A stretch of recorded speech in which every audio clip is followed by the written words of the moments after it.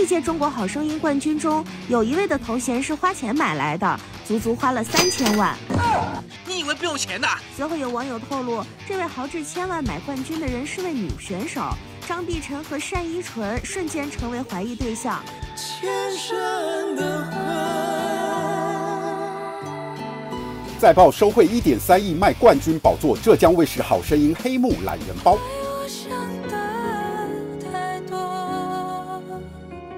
也许不是想太多，是钱太多了。自称好声音前制作人的博主报，曾有女选手花一点三亿台币买冠军头衔，家境富裕，自此平步青云的张碧晨和单依纯被网友对号入座。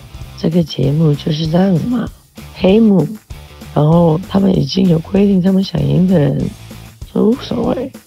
好声音的决赛学员王泽鹏八月十七号爆出导师李玟被欺负的指控，野火燎原。傲慢的制作单位先是甩锅，声明各种流出的录音档遭恶意剪辑。即我我谂嗱，因为佢系刘欢撳咗先，佢就叫我撳。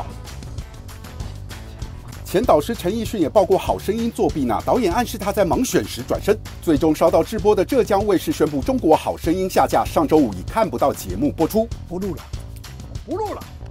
百事可乐官方微博小编竟然公然吃瓜，暂停播出，那选手交的钱会给退吗？豆瓣评论好声音也来到新低二点四分，好声音母公司港商星空华文降的，降的，股价跌了五十五趴，市值蒸发一千四百六十二亿元台币呢。既然都已经这么黑了，那就给你点教训不好吗？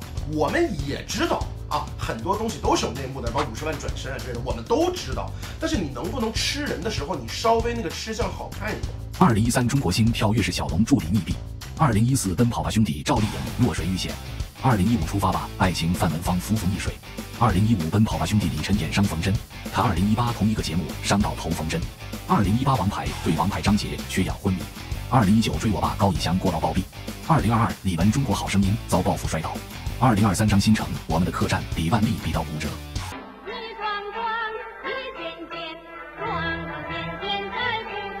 你呀，这些工伤意外全来自浙江卫视，习大大该不会是股东吧？三立娱乐新闻报道。